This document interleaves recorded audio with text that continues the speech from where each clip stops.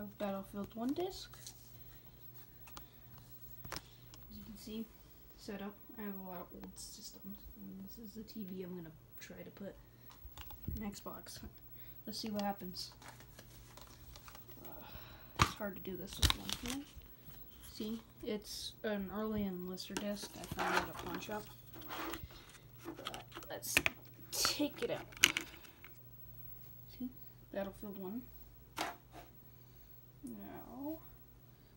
Press eject. Alright. Put the disc in.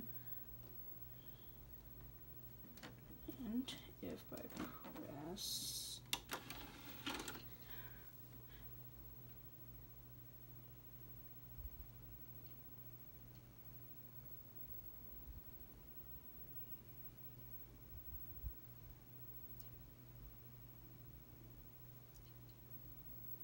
Looks like it's not doing anything so far.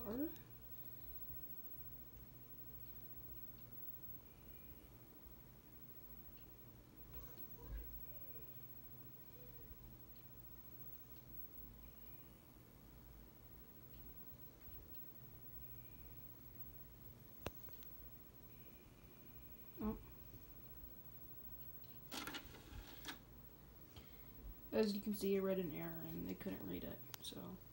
That's what happens when you put an Xbox One game in a DVD player.